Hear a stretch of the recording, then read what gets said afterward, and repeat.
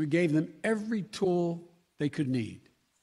We paid their salaries, provided for the maintenance of their Air Force, something the Taliban doesn't have. Taliban does not have an Air Force.